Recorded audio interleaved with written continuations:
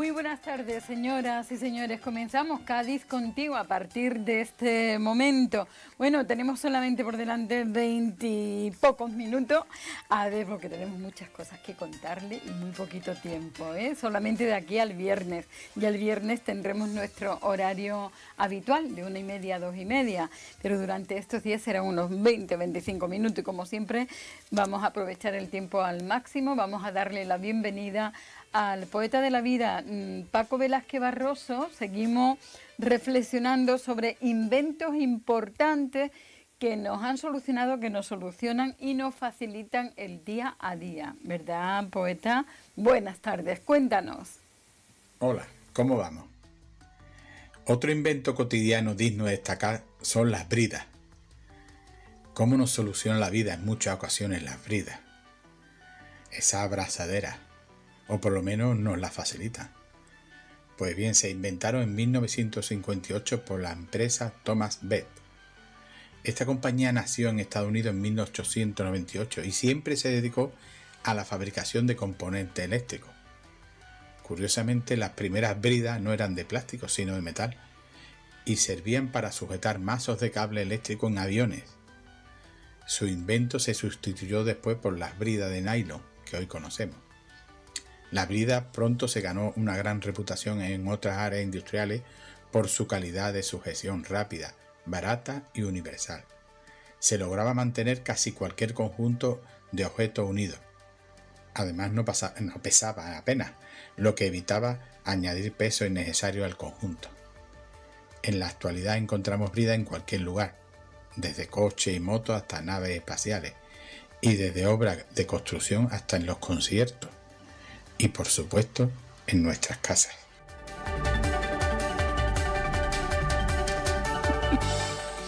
Muchísimas gracias Paco, hasta mañana. Bueno, y tenemos con nosotros como cada lunes, más o menos a esta hora, nuestro querido secretario provincial de FACO a Cádiz, Jesús Yesa. Muy buenas tardes. Encantado de volver a estar con vosotros. Yo te voy a hacer una pregunta. ¿eh? Por supuesto, y lo malo no son las preguntas, son las respuestas. ¿eh? No, no, pero me tiene, te tienes que mojar. ¿eh? Perfecto. ¿Cuál ha sido, cuál es el mejor invento para ti?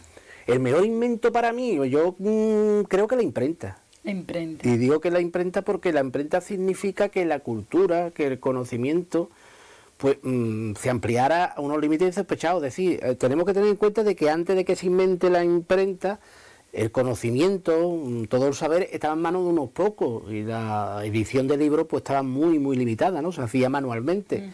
La imprenta, ¿qué es lo que provoca? Bueno, porque el conocimiento obviamente se amplíe, que llegue, no voy a decir a prácticamente todo el mundo, pero significa un antes y un después en lo que es el acceso a la cultura, al conocimiento, al arte, a todo, por lo cual yo creo que para mí es un invento básico y que, no sé, tendríamos que esperar tropecientos años posteriormente con la llegada de, la, de las nuevas tecnologías, con las nuevas de Internet, para conocer algo que cambie tanto el acceso al conocimiento desde la imprenta. Y bueno, ¿cuánto pasaron? No sé exactamente en qué siglo se inventó, pero podrían haber pasado desde la invención de la imprenta por lo menos 800, 900 años desde, desde que, de, repito, hasta que se creara algo tan importante como, como Internet y que obviamente pues, nos facilita también el conocimiento. Creo que no ha sido un invento capital. Mm, maravilloso. ¿Y a ti, Antonio, cuál es el invento que más te gusta?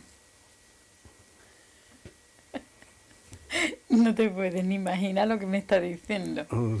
La televisión. ¿Eh? La televisión, el teléfono, ¿verdad? la telegrafía, la luz, ¿no?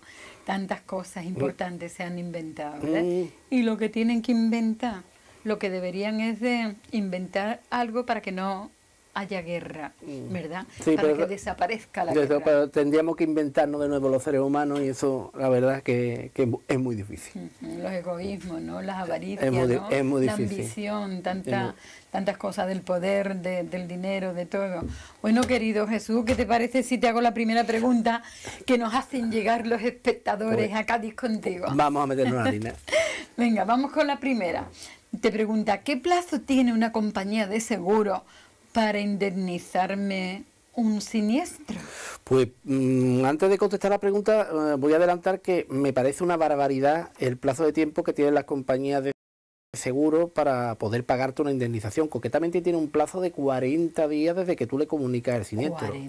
Cosa que me parece una barbaridad. Imaginémonos, por ejemplo, una avería de un vehículo, una avería grave en nuestra casa, que tengamos que estar, o que la ley le permita a las compañías de seguros. que se incendie tu única casa, por ejemplo. Y vayamos, y además peor todavía, porque la ley no dice que a los 40 días nos tiene que pagar la indemnización. La ley lo que dice, la ley de seguro lo que dice es que a los 40 días... Tiene una solución. Como mínimo, nos tiene que dar la parte mínima que nos corresponde, es decir, que cabe la posibilidad de que pasen los 40 días ni siquiera me pagan el total de la indemnización, sino que me pagan una parte y me dejan pendiente otra mientras ellos siguen haciendo valoraciones. Es un plazo eh, volvemos a lo que hablábamos antes de cómo evolucionan las cosas, que a lo mejor hace 20 años, cuando no existían las nuevas tecnologías, pues obviamente podría en un momento dado ser entendible. ¿Por qué? Porque todo se hacía documentalmente, si iba un perito, pues el perito tenía que redactar en el informe, lo tenía que mandar por correo a la segura. O sea, se podía entender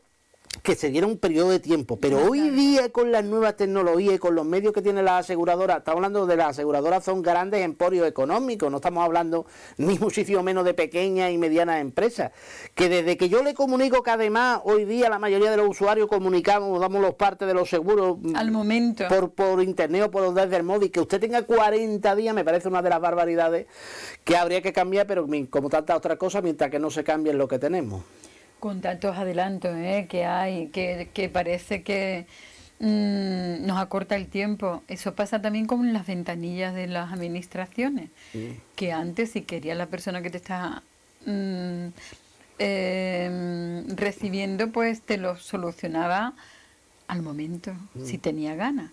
Y ahora, con los ordenadores, con tantos avances, con tantas facilidades, Dice, venga usted dentro de una semana. Sí, lo vuelva usted mañana, que decía Mariano José de Larra hace más de 200 años y que todavía y que todavía sigue en vigor y además con una que a mí me parece lamentable y vergonzoso cómo se ha implantado después de, la pandemia de, COVID, cómo se ha mantenido una cuestión, una excepción que se, que se estableció por motivo obviamente obligado de fuerza mayor, como fue el eliminarlo, el reducir drásticamente la atención presencial. Y bueno, cómo nos hemos agarrado el clavo ardiendo de qué bien nos ha venido el COVID para cerrarle la puerta en las narices por parte de muchas administraciones a la, ciudadanía, lo cual está perjudicando pues a los de siempre, a quién, a los más desamparados, personas mayores, personas que a lo mejor no son tan mayores pero que no tienen unos conocimientos mínimos para, manejarse a través de internet, lo cual me parece una auténtica vergüenza.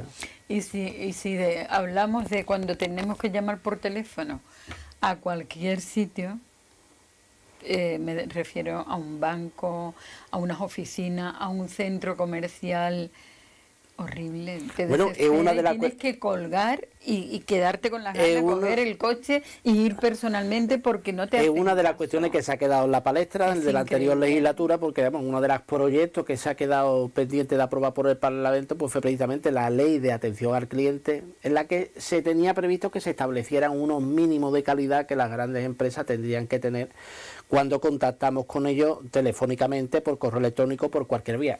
No es que el proyecto, tal como está, no fuera de, agrado de nuestra organización, porque lo veíamos poco ambicioso, pero por lo menos establecía unos mínimos en el que, por ejemplo, se estaba previsto que las empresas tuvieran que atender a los cinco minutos de iniciarse la, llamada. Es decir, por lo menos se establecían unos mínimos que, por desgracia, de momento se ha quedado en el tintero con la, con la finalización de la legislatura. Esperemos a ver si de una vez o más tarde o más temprano inicia la legislatura y se retoma ese proyecto.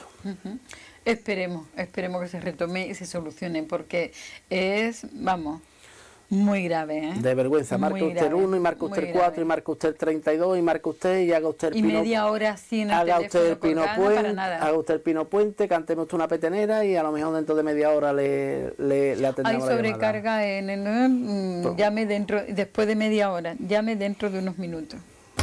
Yo voy a llamar otra vez. Lamentable. bueno, pues vamos con la segunda pregunta. Vamos allá. Dice, hace un par de meses compré una lavadora y ahora un par de meses y ahora no funciona bien. He llamado al servicio técnico y me dicen que la reparación es gratis, pero que tengo que pagar el desplazamiento a mi domicilio. Quisiera saber si ello está eh, así establecido legalmente. Por supuesto que no. La reparación cubre todos los conceptos. Todo. El desplazamiento también tiene el desplazamiento, todo, pieza, mano de obra y todos los conceptos. Por lo tanto, aquí tiene dos opciones. Y digo dos opciones porque estamos hablando de una lavadora. Y la lavadora todavía sabemos que es un electrodoméstico, yo me atrevería a decir... Imprescindible. Mm, de uso diario en muchísimos, en muchísimos casos. Si tenemos una familia más o menos de varios miembros, pues por desgracia, pues prácticamente día sí y día no vamos a tener que poner la lavadora. Y le digo que tiene dos opciones. Ponerle ya la reclamación a la tienda donde le compró el establecimiento, y digo a la tienda, porque lo hemos comentado en este programa en anteriores ocasiones, pero volvemos a decirlo, el responsable de la garantía no es ni el fabricante ni el servicio de asistencia técnica que, está cometiendo en este caso este abuso, sino la tienda en la que hemos comprado el electrodoméstico, con lo cual tenemos que ir a la tienda, ponerle la reclamación y exigirle a la tienda que ese técnico se desplaza a mi domicilio de manera gratuita y que por lo tanto yo no tenga que pagar ni un solo céntimo ni por desplazamiento ni por ningún otro garantía, ¿no? ¿Qué es lo que ocurre? Que eso puede traer un retraso porque entre que voy, pongo la, la reclamación, la empresa, aunque mm, como mínimo va a tener 10 días hábiles para contestarme a la reclamación, es decir, que me puedo estar y a lo mejor me hace falta eso ya. Segunda opción, que puede ser más práctica, aunque no es precisamente la, la, la más positiva o la más, o la más idónea que pague, que fija la factura y que seguidamente presente una reclamación también a la tienda siguiendo la devolución de ese importe que le ha tenido que pagar a este señor por desplazarse a su domicilio para arreglar la lavadora. ¿Y la, lo consigue seguro? Obviamente que no hay más... ¿La devolución? No, tardará más, tardará menos, pero le tendrá que devolver dinero sí o sí, si es necesario, incluso atribuiendo a los tribunales de justicia. O sea, que es ilegal pagar Completa y absolutamente. Dentro de la garantía se cubre absolutamente todo los conceptos durante los tres años que dura la garantía, con lo cual ni desplazamiento, ni es que tengo que pagar una pieza, ni es que no sé cuánto, ni es que tengo que traerme yo un cantautor para que le haga un recital. Todo está cubierto por la garantía. Vale, lo del cantautor estaría muy bueno, a mí me encanta. Bueno, pues a ver, ¿eh? también habría que planteárselo, ya llega el momento. Bueno, vamos con la tercera. Vamos. Venga, como la sevillana, vamos con la tercera pregunta. Varios días eh, seguimos con ahora con un dormitorio, Jesús. Dice, varios días después de adquirir un dormitorio, he detectado, me he dado cuenta que algunos de los muebles que lo componen tienen arañazo. Se lo he comunicado al establecimiento y este no quiere hacerse responsable y alega que no indique nada en el momento de la entrega. ¿Puede la empresa eludir su responsabilidad o puedo reclamarles? Es un problema, y es un problema y una de las precauciones, aunque ya en este caso a esta persona que nos haya hecho esta consulta, pues lógicamente ya le viene, le viene fuera de, fuera de tiempo, pero es muy importante. Cada vez que pidamos unos dormitorios, que pidamos cualquier aro, incluso no solamente hablando de muebles, muebles incluso electrodomésticos, que antes de darle el visto bueno, que repasemos de pe a pa y que no nos cortemos. Antes de darle el visto bueno, ¿eso cuándo es? Bueno, cuando veamos que, eh, pues, y digo esto porque muchas veces los transportistas pues nos meten prisa, mira usted, no, mira usted, te puede decir, no, muy sencillo, te coge, te quita del medio, no te firmo el albarán y se saca yo que, no y se saca yo que había un viernes, porque después nos podemos encontrar con este, con este problema. Yo sinceramente, mm, a lo mejor por, eh, porque somos la organización que somos y, nos duelen mucho este tipo de, situaciones y nos ponemos en la piel de este de este consumidor que ahora mismo dice, bueno, bueno, y ahora cómo demuestro yo, porque lo que le están pidiendo poco menos, mire usted, demuestre usted ahora que es usted inocente, y ahora yo cómo demuestro la inocencia, ahora yo cómo demuestro que realmente lo he visto si yo de buena fe lo traía es muy, muy, muy difícil, con lo cual ya lo han adelantado. Mm, yo, a pesar de todo, a pesar de este inconveniente, aunque sea por el derecho al pataleo, yo le recomendaría que le pusiera la reclamación, pero claro está, ya le está adelantando a la empresa lo que probablemente le responda, de que no quiere hacerse, y el problema ahora, cómo demuestra que esos daños que se han visto, salvo que sean evidentes que esos daños no se han podido cometer a posteriori, mire usted que esto venía por detrás, pero si estamos hablando de arañazos, de desperfecto que a simple vista o tras una revisión no, es se tendrían que haber comprobado, pues la verdad que al contrario que en el caso anterior de la lavadora, lamento decirle a esta persona que va a tener muy difícil obtener un resultado positivo en esa reclamación. Bueno, y la pregunta que nos hacen ahora, esto nos ha pasado a todos. Me, pongo malo, ¿no? A todos, a, ah, a mí me ha pasado, ¿eh? ¿eh? Cuarta pregunta, querido Jesús. Mi banco me obliga a contratar cuando pido una hipoteca, un préstamo o algo, me obliga a, que, a contratar un seguro por si me quedo parada. Mm. ¿eh? Un, un seguro de desempleo para concederme la hipoteca. Mm. ¿Eso es legal? Es legal, es legal. Te puede exigir o bien un seguro de vida o bien un seguro de, de desempleo. ¿Y, y si no te quedas parada, luego te devuelven el dinero que No, tú has no, no, en, absoluto. Pues eso te- es tener mucha cara. En ¿eh? absoluto. La ley le permite o bien un seguro de vida, pero en este caso somos nosotros lo que sí nos da la ley es el derecho a escoger. Tanto si en lugar de seguro de desempleo queremos un seguro de vida, y dicho esto porque en un momento dado, por ejemplo, si soy funcionario o si trabajo en una empresa que entiendo que es lo suficientemente solvente mm, como para yo no quedarme en este caso en situación de desempleo, pues precisamente por lo que tú indicas, pues en este caso lo que tengo que decir al banco, no, seguro de desempleo, no, yo no quiero, quiero un seguro de De vida. mejor. Porque seguro de vida, obviamente Y todo. ese, día ese dinero te repercute a ti. Ese de está mañana, claro que ¿no? la vida está claro que cualquiera, por Claro. muy sano que ¿Y estemos, si tú dices, que no, estemos, de depende también, no? depende también de las circunstancias. Lo que sí tenemos derecho a elegir entre seguro de desempleo, seguro de protección de pago o el seguro de vida y además mm, contratarlo con eh, la entidad con la que nosotros queramos, no con la que nos quiera imponer la entidad bancaria. Es decir, que no tiene por qué ser con ese seguro que usted me pide, porque obviamente, además, normalmente, cuando lo hacemos con una compañía de seguro vinculada al banco en el que estamos contratando la hipoteca, pues se Ah, aprovechan que el que pasa por Valladolid y nos suelen cobrar más caro que si lo contratamos con otra entidad aparte. Pero por desgracia, la, la normativa sí les permite a la entidad bancaria poder hacer esa exigencia. O seguro de vida o seguro de protección de, pa- de pago ante una situación de desempleo, incapacidad, etcétera. Pues ya lo saben, cuando le digan el seguro por si usted se queda parado, mire, en vez del seguro por desempleo, póngame un seguro de vida. Y te repercute, repercute. Hombre, por lo menos, repito, en persona, por lo menos determinar... no pierdo el dinero que Habrá, gano. sí, pero que habrá que ver también las circunstancias. También hay que tener en cuenta circunstancias de cada cual también cuánto me va a salir el seguro de vida. No es lo mismo que yo tenga 30 años y pida un seguro de vida que yo tenga 55 años y pida un seguro de vida. Obviamente un seguro de 55 de una persona de 52 se encarece muchísimo. En un momento dado, ya que tengo que pasar por el aro de tener uno de estos dos seguros, para lo mejor me sale más económico el seguro de el de desempleo. Es otra de las cuestiones que hay que tener en hay que cuenta. estudiarlo ¿no? y analizarlo perfectamente. Efectivamente. Pero que podemos elegir, ¿eh? no solamente el de desempleo.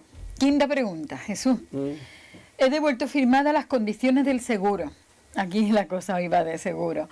Tras hacerlo, las he revisado y me he dado cuenta de que las condiciones no eran las que me prometieron. ¿Puedo cancelar el contrato? Aquí hay una cuestión que, que sería importante saber para poder dar una respuesta lo más fiable a, a este, a esta persona. Concretamente, si esa oferta se la puede demostrar, es decir, si le mandaron un correo electrónico, si le dieron un folleto, es decir, si le dieron algún documento en el que él pueda demostrar que las condiciones del seguro no son acordes con la oferta que le hicieron. Digo esto porque en muchísimas ocasiones las ofertas de seguro se hacen por teléfono o incluso se hacen personalmente, pero no- lo que nos dicen nos lo dicen verbalmente y ahí tenemos el problema de que no podemos demostrar las condiciones de la oferta. Ahora bien, y creo que esto es muy importante, si disponemos de algún documento, aunque sea un correo electrónico, una conversación de WhatsApp con el vendedor de seguro, el que nos dice unas condiciones y esas condiciones no aparecen, ojito, tenemos un mes para comunicarle a la compañía de seguro que o cumple esas condiciones o cancelamos el seguro. Con lo cual, muchísimo cuidado, porque mm, yo creo que lo que nos pregunta esta persona es, por el hecho de haber firmado, ¿ya me tengo que callar la boca? No. se tiene que Claro callar la boca, no. siempre que usted pueda demostrar que esas no son las condiciones y siempre que no haya pasado un mes desde que usted firmó el contrato del seguro, porque es el plazo que nos da la ley para en estos casos poder manifestar esa discrepancia o esa disconformidad, porque, mire usted, lo que me dijo a mí el señor del seguro no lo ha cumplido usted en la póliza. Bueno, pues ya tengo todas las preguntas que te han hecho esta semana los espectadores, pero yo te quiero preguntar, antes de que te marche, ¿qué es lo que está pasando con los contratos de los comedores escolares, Jesús? Pues lo que está pasando en este caso, mm, lo que nos están trasladando, por desgracia, los padres, los madres, los tutores en general que utilizan para sus hijos y para sus hijas este servicio, pues lo mismo que lo decían el curso anterior. Por un lado, se siguen quejando de, de que la calidad de la comida es pésima. Siguen diciendo, y cuando digo la calidad pésima, se quejan tanto de la escasa variedad que tienen los menús como de las cantidades incluso, de pequeñas cantidades y, y además incluso de la calidad Mala de los calidad. propios, de la mala calidad, que nos dice, mire usted, que me dice mío, me dice mía, que es que directamente que no, que no come. Esa es la primera. Y la segunda, ya en un aspecto más legal, pues los padres también nos siguen trasladando y en este sentido sí que coincidimos desde nuestro servicio jurídico porque así nos hemos analizado con alguna cláusula abusiva en el contrato que tienen que firmar los padres y las madres para que sus hijos puedan, puedan hacer eh, uso de este servicio. Concretamente, el hecho de que eh, tienen que tienen que avisar con tres días de con tres días de, con tres días de, de, antelación también se quejan de que en algunos casos le están pidiendo un justificante por enfermedad que obviamente el médico de familia no le va a dar ningún justificante porque los médicos de familia no están obligados a dar ningún tipo de justificante ni a dar ningún tipo de informe, solamente los especialistas son los que los dan y por lo tanto si el niño lo que coge es un resfriado coge el COVID, ningún médico le va a justificar esa enfermedad. Y en este caso la propia delegación nos dijo en el curso anterior que valía con que se le aportara o que la empresa tiene que dar por válido, con que se le dé la acreditación de haber pedido cita con el médico, pero eso también es un engorro, porque en muchas ocasiones, pues repito, también tenemos problemas para pedir cita con el médico. Es decir, vemos una serie de cláusulas abusivas que ya por segunda vez le hemos comunicado a la Delegación de, de Educación y por nuestra parte vamos a seguir insistiendo para que se modifiquen esas cláusulas y para que sobre todo se les facilite a los padres y las madres el poder hacer un uso de este comedor que no signifique que tengan que pagar una serie de días por ese comedor sin que el niño lo utilice. Y por otro lado, mm, entendemos que los padres y las madres tienen que seguir, tanto individualmente como sobre todo a través de las asociaciones de madres y padres, tienen que seguir peleando por una mejora de este servicio. Digo, en cuanto a lo que decía al principio de las quejas que recibimos por la falta de, calidad de los menús que se le da a los escolares.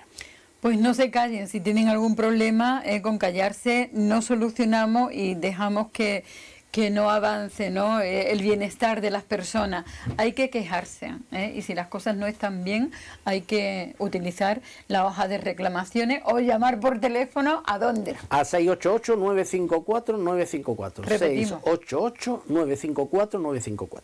Y si quieren enviarnos un correo a cadizcontigo@ondacadiz.es. Nosotros recibimos las preguntas y el lunes se la trasladamos a nuestro querido secretario provincial de Facua, Jesús Yesa. Muchísimas gracias. Todo un placer haber compartido este momento contigo. Y nosotros contigo. Nosotros nos vamos ahora con el bandolero romántico, que hoy nos lleva en su reflexión a volar con el viento. Me imagino al viento como un lienzo de líneas imposiblemente rectas, reales pero invisibles, que se dibujan viajando por el cielo y entre nosotros. Líneas silenciosas, calladas, llevando todo el sonido de lo que ocurre, como un ser bueno barriendo la violencia de muchas palabras y refrescando los sentidos de las buenas me imagino al viento como un acompañante real, pero sin que se le note su presencia, a no ser que quiera ir bastante rápido después de su prima la brisa. El viento mueve la vida terrestre, determinándola básica y definitivamente. Sin él no habría nada. Me lo imagino rodeándonos, si fuera de colores, como en una prueba de aerodinámica de un nuevo modelo de avión en un túnel de ensayo.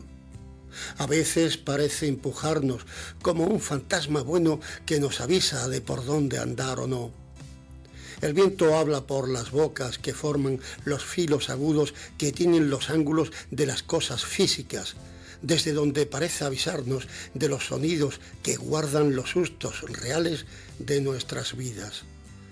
Barre, degrada, amontona, limpia, ensucia, rompe, construye, mata, revive, aromatiza, apesta y vuela melenas preciosas de amor. Imagino que el viento nace donde quiere y muere donde le dejan. Imagino que el viento es libre, pero preso de orografías y de soles fuertes o débiles. Es dueño de mares calmos, de tempestades terroríficas y, si queremos, podemos mandar a tomarlo a lo negativo que nos estorbe en la vida.